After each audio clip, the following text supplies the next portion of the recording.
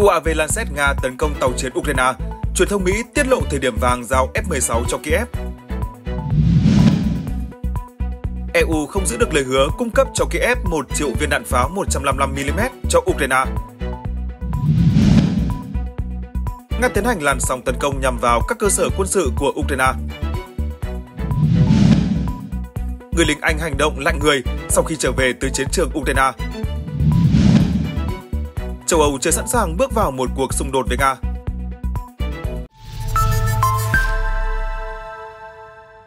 Xin kính chào quý vị đang theo dõi chương trình trên kênh YouTube của báo điện tử VTC News.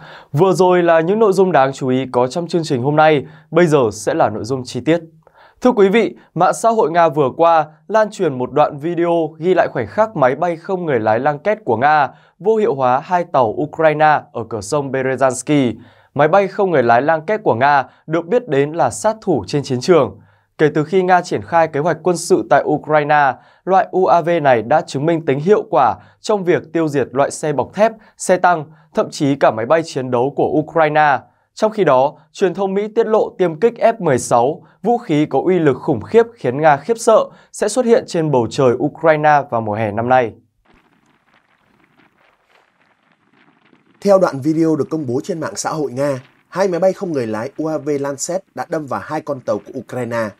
Một trong số đó là tàu tuần tra 40PB 40 feet Defiant do Mỹ cung cấp cho Ukraine và chiếc còn lại là tàu đổ bộ Svatovo L434 thuộc dự án 1176 Akula. Theo các nhà phân tích quân sự, một chiếc thuyền như vậy không thể bị đánh chìm chỉ bằng một đòn tấn công của UAV Lancet. Tuy nhiên, quan sát từ đoạn video có thể thấy khu vực điều khiển của con tàu đã bị hư hại nghiêm trọng và rất khó để khôi phục. Được biết, đây không phải là lần đầu tiên UAV Lancet tấn công tàu Ukraine ở cửa sông Berezhansky vào tháng 12 năm ngoái. Tại khu vực Chernomorsky, máy bay không người lái của Nga đã bắn trúng tàu bọc thép Gyuja M thuộc dự án 58155 của Hải quân Ukraine. Ngoài ra, Nga đã sử dụng UAV Lancet để phá hủy các hệ thống vũ khí do phương Tây cung cấp cho Ukraine như xe tăng Leopard 2A6, pháo tự hành Caesar, hệ thống tên lửa phòng không tầm trung Iris-T, SLM, máy bay MiG-29 và Su-25 của không quân Ukraine. Lancet là một trong UAV lợi hại nhất của Nga do Zala Aero Group, một doanh nghiệp quốc phòng có trụ sở tại Izhevsk của Nga phát triển. UAV này có khả năng tấn công các mục tiêu của đối phương ở khoảng cách vài chục km. UAV có hai biến thể Lancet 3 và Lancet 1. Lancet 3 nặng 12 kg, tầm bay tối đa từ 40 đến 70 km, thời gian bay liên tục 60 phút, tốc độ hành trình từ 80 đến 110 km một giờ, tải trọng từ 3 đến 5 kg. Còn Lancet 1 là phiên bản thu nhỏ với trọng lượng cất cánh chỉ 5 kg, tải trọng 1 kg, tầm bay 40 km. Khi nhận lệnh tiêu diệt mục tiêu, UAV này sẽ lấy độ cao và đâm thẳng vào mục tiêu với vận tốc cực đại là 300 km một giờ. Điều này đồng nghĩa với việc Lancet có thể dễ dàng tiêu diệt hỏa lực đối phương, bao gồm các phương tiện bọc thép, trận địa pháo và súng cối. Năm 2023, Nga đã cho ra mắt phiên bản tiên tiến của UAV Lancet có thể né tránh hệ thống chống tăng và chống UAV của Ukraine. Ở chiều đối diện, Ukraine chuẩn bị nhận 6 máy bay chiến đấu F-16 trong số 45 chiếc được các đồng minh phương Tây cam kết viện trợ vào mùa hè này. Tờ The New York Times hôm 11 tháng 3 đưa tin, cho đến nay, 12 phi công được cho là sẵn sàng điều khiển F-16 sau 10 tháng huấn luyện ở Đan Mạch, Vương quốc Anh và Mỹ. Tuy nhiên, vào thời điểm các phi công quay trở về, có 6 chiếc F-16 sẽ được ra trong số khoảng 45 máy bay chiến đấu mà các đồng minh phương Tây đã hứa. Theo ấn phẩm này, thời điểm bắt đầu đào tạo phi công Ukraine tại căn cứ không quân Fetesti của Rumani vẫn chưa được xác định. Và sự chậm trễ này có thể sẽ ảnh hưởng quá trình bàn giao máy bay chiến đấu F-16. Ngoài ra, tờ báo cũng lưu ý rằng thời điểm các quốc gia gửi máy bay chiến đấu đến Ukraine vẫn chưa rõ ràng. Theo The New York Times, các căn cứ không quân Ukraine dự định tiếp nhận F-16 có thể sẽ trở thành mục tiêu ưu tiên của lực lượng hàng không vũ trụ và phòng không Nga. Đồng thời, việc chiến đấu cơ F-16 hoạt động ở Ukraine sẽ khó có thể mang đến sự thay đổi trên chiến trường trong thời gian ngắn. Nga đã tăng cường triển khai sự hỗ trợ trên không để kiểm soát các vùng lãnh thổ ở phía đông trong những tuần gần đây bằng cách sử dụng máy bay chiến đấu để thả bom lượn từ xa. Ukraine cũng đang rất cần thêm vũ khí dù là bất kỳ loại nào giữa bối cảnh nước này cạn kiệt đạn pháo, trong khi gói hỗ trợ mới của Mỹ vẫn bế tắc tại Quốc hội. Còn nhớ vào giữa tháng 3 năm 2023, EU đã soạn thảo và chấp nhận thực hiện chương trình hỗ trợ đạn pháo cho lực lượng pháo binh Ukraine với kế hoạch gửi 1 triệu viên đạn pháo 155mm. Tuy nhiên, thời hạn đã nêu sắp kết thúc, nhưng họ vẫn chưa thể thực hiện được lời hứa và pháo binh Ukraine vẫn chưa nhận được số lượng đạn như mong muốn. Dựa trên dữ liệu về khối lượng sản xuất và cung ứng, tuyên bố của Ủy viên thị trường nội bộ EU Thierry Breton có vẻ không mấy khả thi. Việc sản xuất 500 đến 600 nghìn viên đạn trong vài tháng tới đơn giản là không thể với các cơ sở sản xuất hiện có. Tuy nhiên, giới lãnh đạo EU vẫn đang cố gắng giữ thể diện. Rõ ràng là một năm trước, EU đã đánh giá quá cao khả năng của ngành công nghiệp của mình. Tuy nhiên, trong tình hình hiện tại, ngành công nghiệp của châu Âu đơn giản là không thể cung cấp tỷ lệ sản xuất và cung ứng theo kế hoạch. Và một trong những vấn đề khó khăn nhất là phạm vi đạn pháo. Nó đã liên tiếp phát sinh một số vấn đề và tình hình tiếp tục trở nên tồi tệ hơn. Trong hai năm qua, các nước EU đã vận chuyển một lượng đáng kể đạn dược tới Ukraine từ kho của chính họ. Tuy nhiên, hiện không thể cung cấp thêm đạn dược từ kho hiện có do có những mối đe dọa rõ ràng đối với sự an toàn của chính quốc gia của họ. Gần đây, ngay cả trong tình huống khó khăn này, EU vẫn có kế hoạch và mong muốn tiếp tục hỗ trợ cho chế độ Kiev. Họ có thể lên kế hoạch mua đạn dược từ bên ngoài, nhưng người ta cho rằng EU cũng sẽ gặp rất nhiều khó khăn. Kết quả là chế độ Kiev khó có thể nhận được đủ số lượng đạn pháo như đã hứa từ EU trong thời gian tới. Trước đó, EU hứa sẽ cung cấp đạn pháo cho Ukraine, nhưng chưa bao giờ nói toàn bộ số đạn này sẽ được chuyển giao miễn phí. Theo ông Breton, kế hoạch cung cấp 1 triệu viên đạn pháo cho Ukraine của EU có 3 nguồn chính. Nguồn đầu tiên là viện trợ, và EU đã chuyển cho Ukraine 300.000 viên đạn pháo miễn phí. Số đạn pháo này sẽ tăng lên 550.000 viên trong tháng 3. Nguồn thứ hai là chính phủ Ukraine phải mua đạn pháo trực tiếp từ các công ty quốc phòng của EU. Ông Breton cho biết, Ukraine đã mua khoảng 350.000 viên đạn pháo từ các nhà sản xuất kể từ khi cam kết được đưa ra. Cùng với số đạn pháo EU tặng miễn phí cho Ukraine, khối sẽ cung cấp cho Ukraine khoảng 900.000 viên đạn pháo vào cuối tháng 3. Ông Breton cho hay, nếu vẫn muốn số lượng đạn pháo nhiều hơn, Ukraine có thể tiếp tục mua trực tiếp từ các công ty quốc phòng của chúng tôi. EU đã cung cấp cho Ukraine khoản hỗ trợ tài chính 1,63 tỷ đô la Mỹ mỗi tháng, nghĩa là Kiev có khả năng tự mua đạn pháo. Nguồn thứ ba của kế hoạch bao gồm các khoản viện trợ song phương của từng quốc gia thành viên EU. Ông Breton nói rằng, từ ba nguồn trên, EU đã đi đúng theo kế hoạch cung cấp 1 triệu viên đạn pháo cho Ukraine. Tuy nhiên, bình luận của ông Breton dường như mâu thuẫn với những tuyên bố trước đó của người đứng đầu chính sách đối ngoại EU Joseph Borrell. Ukraine đã nhiều lần phàn nàn về việc phương Tây chậm trễ trong việc cung cấp vũ khí và đạn dược cho nước này. Vào cuối tháng 2, Bộ trưởng Quốc phòng Ukraine Rustem Umerov cho biết một nửa số vũ khí và đạn dược mà phương Tây hứa hẹn đã chuyển giao muộn. Hãng thông tấn TASS cho biết, một công dân Hàn Quốc tại Vladivostok bị bắt, tình nghi gián điệp. Theo lời nhà chức trách Nga trong bản tin của TASS, người Hàn Quốc bị bắt có tên Park Won Sun. Người này đã được giải từ Vladivostok về Moscow để điều tra nghi án gián điệp. Reuters nói đã liên lạc với một quan chức Bộ Ngoại giao Hàn Quốc, nhưng chưa có thêm bình luận nào. Vụ bắt giữ lần này có thể khiến quan hệ giữa Nga và Hàn Quốc thêm xấu đi, khi hai bên vốn dĩ đã có bất đồng. Hoạt động gián điệp có thể bị phạt tù tối đa 20 năm ở Nga. Nga xem Hàn Quốc là một quốc gia thuộc diện không thân thiện vì Seoul ủng hộ các lệnh trừng phạt kinh tế của Mỹ lên Moscow liên quan tới kế hoạch quân sự của Nga tại Ukraine.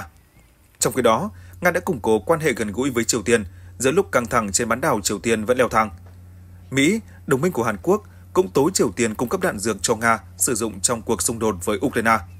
Đây là cáo buộc bị cả Nga và Triều Tiên phản bác, mặc dù quan hệ hợp tác quân sự giữa hai bên có nhiều chuyển biến tích cực trong thời gian qua. Hồi đầu tháng 1, an ninh Nga cũng từng bắt hai người tại Rostov-on-Don bị nghi làm gián điệp, thu thập thông tin về các đơn vị quân đội và chuyển cho Ukraine. Cơ quan an ninh Liên bang Nga FSB thông báo về vụ bắt hai công dân nước này tại Rostov-on-Don, thủ phủ tỉnh Rostov. Những người này chủ động liên hệ với đại diện của cơ quan đặc biệt Ukraine. Sau cuộc thảo luận, họ đồng ý thu thập và chuyển thông tin liên quan đến các đơn vị của lực lượng vũ trang Nga tham gia chiến dịch quân sự đặc biệt. Theo FSB, hai người bị bắt khai nhận đã quan sát, thu thập và chuyển cho Ukraine thông tin về vị trí trang thiết bị quân sự cùng nhân sự của các đơn vị thuộc quân khu miền Nam để nhận tiền. Những người bị bắt đối mặt với cáo buộc phạm tội phản quốc với án tù lên tới 20 năm. Ở diễn biến khác trong tuần này, Nga cũng sẽ có cuộc bầu cử với khả năng cao Tổng thống Vladimir Putin tiếp tục đắc cử. Như một biểu hiện căng thẳng khác giữa Nga và Mỹ, Cục Tình báo Hải ngoại Nga SVR cáo buộc Mỹ cố tình can thiệp cuộc bầu cử Tổng thống tại Nga, đồng thời cho rằng chính quyền Tổng thống Mỹ Joe Biden thậm chí có kế hoạch tấn công mạng nhắm vào hệ thống bỏ phiếu trực tuyến của họ. Washington trước đó cũng nhiều lần tố Moscow can thiệp vào các cuộc bầu cử tổng thống hồi năm 2016 và 2020 ở Mỹ, song Nga đều bác bỏ. Phát ngôn viên Điện Kremlin Dmitry Peskov tuần trước tái khẳng định quan điểm trên, đồng thời nhấn mạnh Nga sẽ không can thiệp vào cuộc bầu cử tổng thống Mỹ của năm nay. Tuần trước, Nga đã triệu tập đại sứ Mỹ tại Moscow để cảnh báo khả năng trục xuất các nhà ngoại giao Mỹ được cho là đang can thiệp vào công việc nội bộ của nước Nga thông qua các hành động có tính chất lật đổ và lan truyền thông tin liên quan cuộc bầu cử. Đại sứ Nga tại Mỹ Anatoly Antonov cũng yêu cầu giới chức Mỹ kiềm chế những hành động có thể khiến quan hệ song phương trượt xuống vực thẳm. Thưa quý vị, lực lượng Nga đã triển khai một đợt tấn công mới nhằm vào các vị trí quân sự của Ukraine, bất chấp cái giá phải trả cho một cuộc xung đột kéo dài. Trong khi đó, Ukraine dường như chưa có nhiều sự chuẩn bị cho cuộc phản công sắp tới. Điều đó cho thấy Nga vẫn nắm thế chủ động và kiểm soát được mức độ thiệt hại trong lúc giành được những thắng lợi đáng kể trên chiến trường. Vừa qua, lực lượng Nga đã tiến hành làn sóng tấn công mới nhằm vào các cơ sở quân sự của Ukraine ở nhiều khu vực khác nhau. Các nguồn tin Ukraine đã xác nhận những vụ nổ ở vùng Mykolaiv, Odessa, Vinnytsia, Kharkov, Dnepropetrovsk và Khmelnytsky. Chính quyền Ukraine xác nhận thiệt hại đối với một số cơ sở công nghiệp ở khu vực Vinnytsia và Odessa. Tuy nhiên, các quan chức Ukraine không tiết lộ chi tiết về thiệt hại do các cuộc tấn công của Nga gây ra. Theo SF, cuộc tấn công của Nga đã phá hủy kho vũ khí của Ukraine ở phía nam Kalinovka thuộc vùng Vinnytsia. Các cơ sở lớn trong khu vực được sử dụng để cất trữ đạn pháo. Nhiều cuộc tấn công của máy bay không người lái Nga cũng đã được xác nhận ở khu vực Odessa. Chính quyền địa phương đã thông báo về vụ cháy lớn tại một doanh nghiệp công nghiệp. Theo báo cáo của địa phương, một nhà máy gạch bỏ hoang nằm ở ngoại ô phía bắc Odessa đã bị bốn máy bay không người lái tấn công. Sân bay ở Starokonstantinov thuộc vùng Khmelnytsky cũng đã bị tấn công. Đường băng và một số cơ sở hạ tầng tại sân bay được cho là đã bị hư hại. Một cuộc tấn công bằng máy bay không người lái khác cũng đã được báo cáo ở Snigirevka thuộc vùng Mykolaiv, nơi có một sân bay. Về phía Ukraine, nước này cho biết các đơn vị của họ đã phá hủy 35 trong số 39 UAV Shahed mà đối phương phóng đi trong đêm từ mũi Chauda ở Crimea và Primorsko Atak ở vùng Krasnodar Krai của Nga. Báo cáo cho biết đối phương cũng đã phóng 4 tên lửa S-300 hoán cải thành vũ khí tấn công mặt đất. Không có thông tin nào được cung cấp về kết quả của các tên lửa này. Các UAV đã bị chặn trên vùng trời các tỉnh Kirovorat, Mykolaiv, Dnipropetrovsk, Cherkasy, Odessa, Kherson, Khmelnytsky, Vinnytsia, Kiev và Zhytomyr. Báo cáo cho biết các nhóm hỏa lực cơ động của không quân Ukraine đã tham gia đẩy lùi các cuộc không kích. Mặt khác, để giữ vững vị trí của mình, lực lượng Ukraine cần được bổ sung khẩn cấp về đạn dược và lực lượng. Nếu quân tiếp viện đến, Ukraine có thể bảo vệ tiền tuyến trong năm nay và tái tạo sức mạnh chiến đấu, trong khi các cơ sở công nghiệp của phương Tây có thể tăng cường cho năm 2025 và hơn thế nữa – hỗ trợ quân sự của phương Tây, đặc biệt là viện trợ của Mỹ, phải được phê duyệt nhanh chóng để duy trì nguồn cung cấp đạn dược quan trọng và duy trì các hệ thống chiến đấu hiện có của Ukraine. Tiếp theo, Kiev phải xây dựng và đào tạo nhân sự để bổ sung cho các đơn vị tiền tuyến. Cuối cùng, Ukraine phải đẩy nhanh việc xây dựng các vị trí phòng thủ đã được chuẩn bị sẵn. Nếu không có những bước đi khẩn cấp này, việc xoay vòng đạn dược của Ukraine sẽ tiếp tục kéo dài suốt mùa xuân và mùa hè Đối mặt với các cuộc tấn công liên tục của Nga, các đơn vị không người lái có thể mất khả năng tự vệ, trừ khi có những thay đổi ngay lập tức. Nếu không, đây sẽ là con đường mà Ukraine và phương Tây đang đi. Thời gian không đứng về phía Kiev và đang ngày càng cạn kiệt.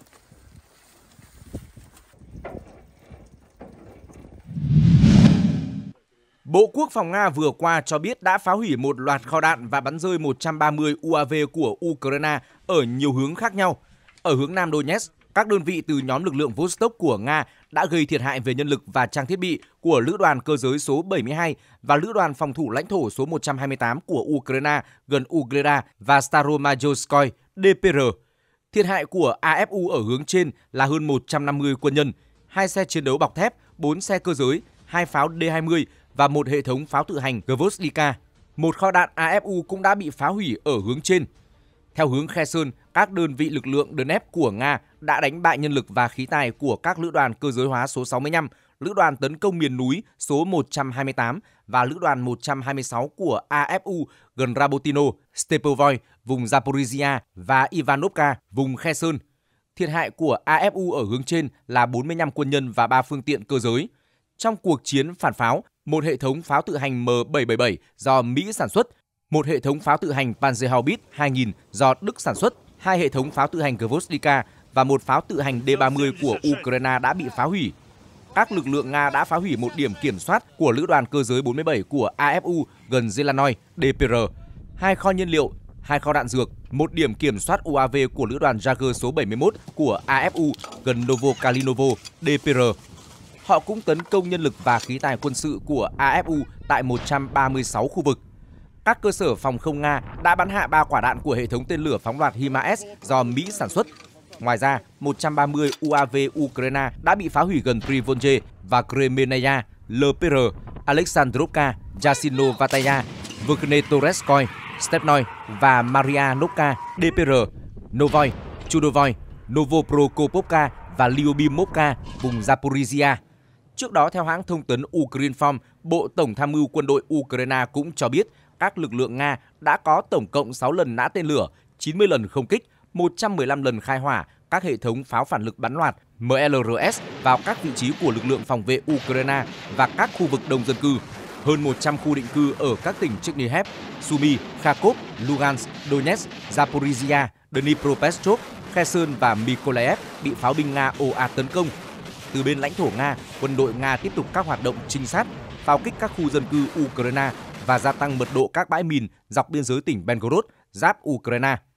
Tại tỉnh Donetsk, các lực lượng Ukraine đẩy lùi 52 đợt tấn công của quân Nga, gây ảnh hưởng tới hơn 63 khu định cư trong tỉnh, chủ yếu ở các chiến trường chủ lực Bakhmut, Adivka, Liman, vân vân. Tại tỉnh Zaporizhia, quân đội Nga đã mở 16 cuộc tấn công vào các khu vực phía tây các khu định cư Verbov và Rabotino. Trong khu vực phụ trách của nhóm tác chiến và chiến lược Odessa ở tỉnh Kherson, các lực lượng Nga tiếp tục nỗ lực đánh bật các đơn vị Ukraine khỏi vị trí tập kết ở phía tả ngạn sông Dnieper. Anh bắt đầu chuyển giao Ukraine 14 xe tăng Challenger 2 từ đầu năm 2023. Song theo tờ giờ săn, 5 trên 14 xe tăng Challenger 2 đã ngừng hoạt động và đang chờ phụ tùng thay thế. Quá trình Anh giao phụ tùng cho Ukraine có thể mất vài tháng. Ngoài ra, một chiếc Challenger đã bị máy bay không người lái UAV Lancet của Nga phá hủy. Một chiếc khác đang được các lực lượng vũ trang Ukraine sử dụng để huấn luyện đội xe tăng ở sâu phía sau tiền tuyến. Bên cạnh đó, có thông tin hai xe tăng Challenger 2 khác đã bị hư hại trong chiến đấu, nhưng đã được sửa chữa mà trong đó một chiếc được thay nòng súng. Một chỉ huy đại đội xe tăng Ukraine chia sẻ với giờ săn, mất một thời gian dài để nhận được phụ tùng, công tác hậu cần rất phức tạp. Theo ông, đây cũng là một trong những khó khăn chính liên quan đến hoạt động của các xe tăng Anh cung cấp. Cụ thể, một số bộ phận của Challenger 2 đã bị hỏng ngay từ đầu, trong khi những bộ phận khác cần được thay thế thường xuyên. Theo đó, xe tăng Challenger 2 được cho là mới xuất hiện trở lại trên chiến trường Ukraine sau thời gian vắng bóng.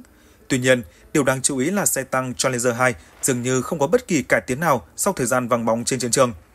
Trong cuộc xung đột Nga-Ukraine, việc xe tăng Leopard, Challenger, Abrams và xe tăng Liên Xô được gắn các thiết bị bổ sung ở Ukraine là rất phổ biến.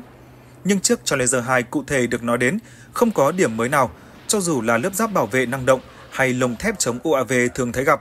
Đây được xem là điều bất thường khi những chiếc xe tăng phương Tây chịu không ít tổn thất trên chiến trường Ukraine. Khi chiếc xe tăng Challenger 2 đầu tiên bị Nga phá hủy ở Ukraine, điều đó đã làm sụp đổ huyền thoại về vũ khí bất bại của phương Tây. Xe tăng Challenger 2 được đánh giá là bất khả chiến bại.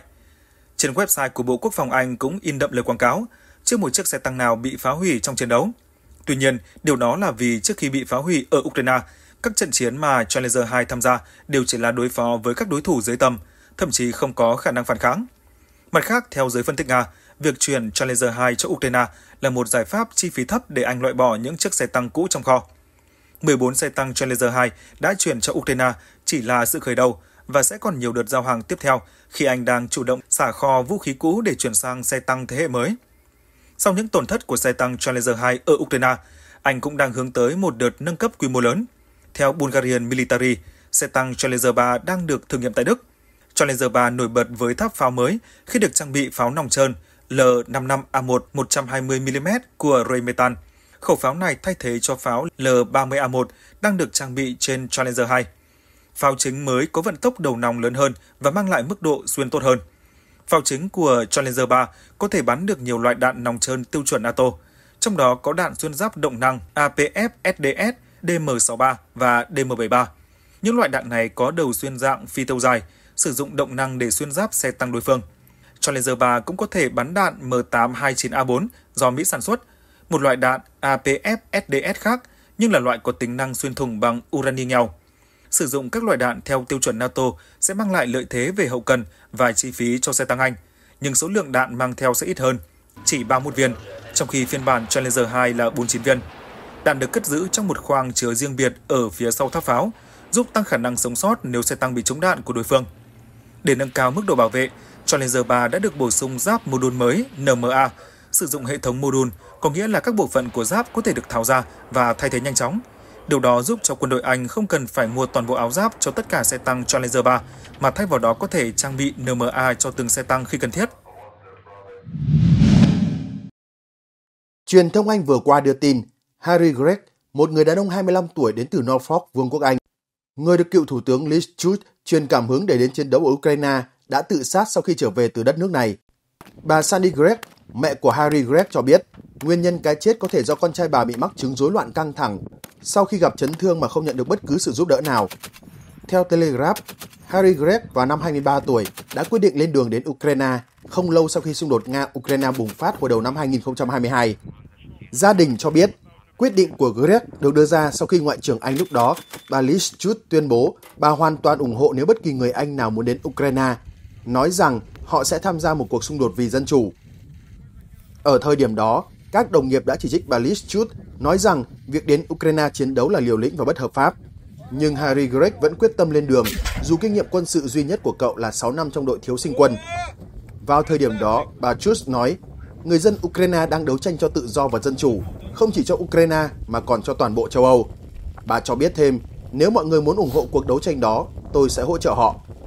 Tuy nhiên, mẹ của Harry Gregg kể lại, con trai nói với tôi rằng Ukraine cần giúp đỡ. Harry thừa nhận đã làm một số việc sai trái trong quá khứ nên muốn bù đắp bằng cách cống hiến cho xã hội. Harry thấy mình có thể làm gì đó giúp đỡ nên đã liên lạc với đại sứ quán Ukraine. Chỉ trong vài ngày, con trai tôi đã đặt vé máy bay và lên đường. Harry Gregg đáp máy bay xuống một nước láng giềng của Ukraine, nhưng lỡ chuyến xe buýt đến biên giới Ukraine và phải đi taxi. Với sự giúp đỡ của các nhân viên cứu trợ, cuối cùng Gregg đã đến được tiền tuyến và tham gia một trại huấn luyện. Khu trại này sau đó bị lực lượng Nga tấn công. Gregg không bị thương, nhưng một người bạn bị thương nặng. Greg được phân về tiểu đoàn 48 và chiến đấu dưới bí danh Đại Bàng. Từ chiến hào, cậu chứng kiến cảnh các đồng đội thiệt mạng ngay trước mắt. Khi trở về Anh, Greg mắc chứng PTSD, rối loạn căng thẳng sau sang chấn, nhưng không nhận được sự giúp đỡ. Ngày 14 tháng 12 năm 2023, Greg được cho là đã lên kế hoạch đi chơi với bạn bè nhân dịp sinh nhật lần thứ 25, nhưng sau đó mất liên lạc với gia đình. Thi thể Greg được tìm thấy tại nhà và nhân viên y tế tuyên bố cậu đã tử vong tại hiện trường. Cơ quan điều tra xác định Greg đã treo cổ tự tử. Tháng 7 năm ngoái, phát ngôn viên Bộ Ngoại giao Nga Maria Zakharova nói rằng những người nước ngoài chiến đấu bên phía Kiev đều được coi là mục tiêu của quân đội Nga. Vào tháng 12 năm ngoái, Bộ trưởng Quốc phòng Nga ông Sergei Shoigu cho biết hơn 5.800 lính quân sự tư nhân nước ngoài, chủ yếu đến từ Ba Lan, Mỹ và Anh, đã thiệt mạng ở Ukraine kể từ khi Moscow bắt đầu kế hoạch quân sự vào tháng 2 năm 2022. Trong một cuộc phỏng vấn với báo The Guardian được công bố, Tổng giám đốc Guillaume Fari của Airbus, công ty quốc phòng và hàng không vũ trụ lớn nhất châu Âu, nói ngành công nghiệp quốc phòng của châu lục này đang đứng ở thời điểm quyết định trong bối cảnh xung đột Nga-Ukraine đã bước sang năm thứ ba. Theo ông Fari, các quốc gia châu Âu đã phụ thuộc quá nhiều vào Mỹ về an ninh và trang thiết bị, cũng như trở nên dưới mức quan trọng trong các lĩnh vực quốc phòng then chốt. Ông kêu gọi Liên minh châu Âu EU và Anh cùng nỗ lực và hợp nhất các chương trình máy bay chiến đấu vốn cạnh tranh với nhau. Cảnh báo của ông Faury xuất hiện giữa lúc giới chức Nga liên tục có những lời lẽ mang tính đe dọa. Tổng thống Nga Vladimir Putin gần đây đã cảnh báo các nước NATO rằng có nguy cơ xảy ra chiến tranh hạt nhân nếu phương Tây đưa quân tới Ukraine. Sau khi Tổng thống Pháp Emmanuel Macron kêu gọi các đồng minh không loại trừ khả năng này. Ông Faury đánh giá, tôi không nghĩ châu Âu thực sự đã có được mức độ chuẩn bị cần thiết cho một cuộc xung đột giữa châu Âu và Nga. Có sao nói vậy thôi và có vẻ như Nga đang tăng cường khả năng phòng thủ. Trước đó, các quốc gia châu Âu đã đồng loạt kêu gọi công dân rời khỏi Nga sau cảnh báo từ Mỹ Thời điểm đó, Đại sứ quán Mỹ tại Moscow đưa ra cảnh báo về các cuộc tấn công khủng bố có thể xảy ra trong 48 giờ tới. Đại sứ quán Mỹ cho biết họ đang theo dõi các báo cáo cho thấy những kẻ cực đoan sắp có kế hoạch nhắm mục tiêu vào các cuộc tụ tập lớn ở Moscow. Sau cảnh báo, Vương quốc Anh đã đưa ra cảnh báo tương tự khuyến nghị công dân Anh không nên đến Nga vì lý do rủi ro và mối đe dọa khủng bố. Tương tự là Đức cũng kêu gọi công dân của mình và những người có hai quốc tịch không đến Nga trong thời gian tới đồng thời tuyên bố trên trang web của chính phủ rằng Đại sứ quán Đức tại Moscow và Tổng lãnh sự quán tại Saint Petersburg sẽ đóng cửa. Estonia cũng đã yêu cầu công dân của mình cẩn thận hơn bình thường và tránh các cuộc tụ tập nơi công cộng do mối đe dọa khủng bố. Tuy nhiên, cho đến nay, Nga vẫn chưa đưa ra bất kỳ tuyên bố chính thức nào liên quan đến cáo buộc mối đe dọa khủng bố ở Moscow. Mặt khác, ngành công nghiệp quốc phòng châu Âu đã suy giảm năng lực nghiêm trọng sau hàng chục năm các nước duy trì mức chi tiêu thấp cho quốc phòng. Vấn đề lớn hơn với châu Âu là họ không có thị trường quốc phòng chung để đáp ứng nhu cầu an ninh của lục địa. Xung đột Ukraine cũng khiến vấn đề quốc phòng của châu Âu trở nên nan giải hơn. Sau khi gửi một lượng lớn thiết bị tới Ukraine, các thành viên EU cho rằng họ không có đủ khả năng để chờ đợi các nhà sản xuất châu Âu bù đắp cho vũ khí. Do đó, họ tìm cách bổ sung nhanh chóng bằng cách tìm mua từ các nhà sản xuất bên ngoài, chủ yếu là từ Mỹ. Nga vừa qua cho rằng lời kêu gọi đàm phán ở Ukraine của giáo hoàng Francis cho thấy phương Tây cần thừa nhận sai lầm ở Ukraine. Giáo hoàng Francis đã kêu gọi Ukraine can đảm dương cờ trắng và chấp nhận đàm phán nhằm kết thúc xung đột với Nga. Theo người phát ngôn Bộ Ngoại giao Nga Maria Zakharova, giáo hoàng đang yêu cầu phương Tây gạt tham vọng sang một bên và thừa nhận những sai lầm của mình. Bà Zakharova cho rằng phương Tây đang sử dụng Ukraine như một công cụ để làm suy yếu Nga. Về phía Nga, bà Zakharova cho biết chúng tôi chưa bao giờ cản trở đàm phán và nhận định tình hình ở Ukraine đang đi vào ngõ cụt. Tuy nhiên, Ukraine đã bác bỏ lời kêu gọi đàm phán của giáo hoàng nhằm chấm dứt xung đột với Nga. Tổng thống Volodymyr Zelensky cho biết động thái này của giáo hoàng chỉ là một cuộc hòa giải ảo, trong khi ngoại trưởng nước này cũng tuyên bố Kiev sẽ không bao giờ đầu hàng.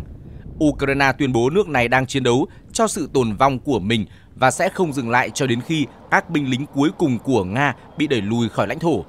Mặt khác, Tổng thống Ukraine Volodymyr Zelensky không đề cập trực tiếp đến giáo hoàng Francis hoặc những bình luận của giáo hoàng mà chỉ đề cập đến các nhân vật tôn giáo đang giúp đỡ ngay bên trong lãnh thổ Ukraine.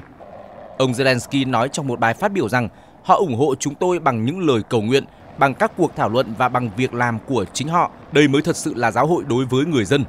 Trước đó, Ngoại trưởng Ukraine Dmytro Kuleba cũng quả quyết Kiev sẽ không bao giờ đầu hàng. Ngoại trưởng Ukraine Dmytro Kuleba viết trên mạng xã hội X, Twitter rằng cờ của chúng tôi có màu vàng và xanh. Chúng tôi sống, chết và chiến thắng cùng với lá cờ này. Chúng tôi sẽ không bao giờ dương bất kỳ lá cờ nào khác. Ngoài ra, Tổng giám mục Sviatoslav Sepchak người đứng đầu giáo hội công giáo nghi thức Đông Phương với 5 triệu tín đồ ở Ukraine cũng đưa ra quan điểm. Vị Tổng giám mục cho biết, tin tôi đi, không ai có ý định đầu hàng cả. Các lãnh đạo và quan chức châu Âu ủng hộ Ukraine đã chỉ trích những lời lẽ mới nhất của giáo hoàng Francis. Ngoại trưởng Ba Lan Radoslav Sikorski viết trên mạng xã hội X rằng hay là động viên ông Putin can đảm rút quân khỏi Ukraine cho cân bằng. Tổng thống Latvia Edgars Rinkevich cũng viết trên mạng xã hội X rằng con người không được đầu hàng trước cái ác, con người phải chiến đấu và đánh bại nó để cái ác dương cờ trắng và đầu hàng. Trước đó, Tổng thống Ukraine Volodymyr Zelensky cuối năm 2022 ký xác lệnh không đối thoại với Nga nếu Tổng thống Vladimir Putin còn tại vị. Ông Zelensky cũng bày tỏ tin tưởng nước này sẽ chiến thắng Nga và xung đột sẽ chỉ chấm dứt theo điều kiện của Kiev. Tổng thống Putin tháng 12 năm 2023 cho biết Nga sẵn sàng đàm phán với Ukraine, Mỹ và châu Âu về tương lai của Kiev dựa trên lợi ích quốc gia của Moscow. Ông chủ điện Kremlin cũng từng nhiều lần đề cập việc thảo luận về giải pháp hòa bình cho xung đột tại Ukraine. Trong khi đó, Phó Chủ tịch Hội đồng An ninh Nga Dmitry Medvedev vừa qua khẳng định nước này sẽ theo đuổi chiến dịch tại Ukraine tới khi đối phương đầu hàng, bác bỏ khả năng hòa đàm với chính quyền Tổng thống Zelensky. Ông tuyên bố mọi chính phủ Ukraine trong tương lai sẽ phải chấp nhận thực tế mới nếu muốn đối thoại với Nga, ám chỉ nhượng bộ lãnh thổ ở những vùng Moscow kiểm soát. Thưa quý vị, ngay sau khi Thụy Điển trở thành thành viên mới nhất của khối quân sự Bắc Đại Tây Dương NATO, Ngoại trưởng Ukraine lên tiếng cảnh báo các thành phố ở sườn phía đông tổ chức này có nguy cơ trở thành viễn cảnh giống như thành phố Adipka và Batmut. Trong khi đó, ở trên chiến trường, lực lượng Ukraine ở ngôi làng Kalipchivka đang nằm trong hai gọng kìm tiến công của quân đội Nga, đứng trước nguy cơ bị bao vây trong một nồi hầm khác ở vùng Donetsk. Trong bài phát biểu do truyền thông Litva đăng tải, Ngoại trưởng Ukraine Dmytro Kuleba cho rằng nếu Tổng thống Nga Vladimir Putin tiến hành kế hoạch quân sự ở các nước vùng Baltic cũng là thành viên NATO, họ sẽ dũng cảm bảo vệ người dân của mình trước đối thủ vượt trội về cả kinh nghiệm và năng lực. Ông Kuleba cảnh báo, cuối cùng, tôi nghĩ NATO sẽ chiến thắng. Tuy nhiên, hãy nhìn Bakhmut, hãy nhìn adipka Đây có thể là diện mạo của các nước vùng Baltic sau các cuộc giao tranh căng thẳng. Vilnius sẽ không còn xinh đẹp nữa. Các thành phố Bakhmut và adipka ở phía đông Ukraine hiện do Nga kiểm soát – Moscow giành quyền kiểm soát Bakhmut vào tháng 5 năm ngoái và lực lượng Kiev rút khỏi adipka vào giữa tháng 2 vừa qua. Cả hai thành phố này đều đã bị tàn phá bởi những cuộc giao tranh kéo dài nhiều tháng giữa hai bên. Một số quốc gia NATO nằm gần biển Baltic, bao gồm Latvia, Estonia và Litva, sau này cũng giáp với vùng Kaliningrad của Nga. Thụy Điển cũng nằm ven biển Baltic và trở thành thành viên mới nhất của NATO. NATO đã cung cấp viện trợ quân sự trị giá hàng chục tỷ đô la Mỹ cho Ukraine khi xung đột với Nga. Tuy nhiên, Liên minh và các quốc gia thành viên đã nói rõ rằng NATO sẽ không đối đầu trực tiếp với Nga. Theo điều 5 của Hiệp ước NATO, một cuộc tấn công vào một thành viên NATO được coi là tấn công vào tất cả thành viên còn lại. Ukraine hiện chưa phải thành viên của liên minh. Trong diễn biến khác, ở hướng Bakhmut, Artemov, lực lượng vũ trang Nga tiến rất nhanh và bắt đầu mở các cuộc tấn công vào các khu vực lân cận của thị trấn chiến lược Chasovia, trong khi cũng đánh lui tất cả các cuộc phản công trong vô vọng của Ukraine. Theo báo cáo của truyền thông địa phương, các đơn vị Nga đánh từ Bắc Mút sang phía Tây Nam đã nắm quyền kiểm soát phần lớn quận Ivanovskoye. Phần còn lại của nó nằm dưới sự kiểm soát của lực lượng vũ trang Ukraine, hiện bị lực lượng hàng không và pháo binh Nga tấn công dữ dội. 80% Ivanovsky đã nằm dưới sự kiểm soát của lực lượng vũ trang Nga. Và tình trạng này làm phức tạp nghiêm trọng việc chuyển nguồn lực dự trữ của quân đội Ukraine sang khu vực này. Trong bối cảnh đó, giới phân tích cho rằng chiến dịch tấn công vào Chasovia rất có thể sẽ bắt đầu ngay sau khi các khu định cư xung quanh bị quân đội Nga chiếm đóng. Tuy nhiên, Chasovia là một cứ điểm kiên cố không kém so với Artemov. Do đó, nếu không có sự chuẩn bị kỹ lưỡng, quân đội Nga sẽ rất khó khăn trong việc đánh chiếm thành công một thành trì lớn được lực lượng vũ trang Ukraine giành công củng cố trong nhiều tháng qua. Nhưng những hành động gần đây cho thấy, giới chỉ huy Nga hoàn toàn hiểu rõ điều này. Hiện các cuộc không kích đang được tiến hành dữ dội vào Chasovia. Điều này sẽ làm giảm đáng kể tiềm năng phòng thủ của lực lượng vũ trang Ukraine trước thềm chiến dịch tấn công của quân Nga. Trong khi đó, lực lượng Ukraine ở ngôi làng Kalichivka cũng đang nằm trong hai cọng kìm tiến công của quân Nga, đứng trước nguy cơ bị bao vây trong một nồi hầm khác ở vùng Donetsk.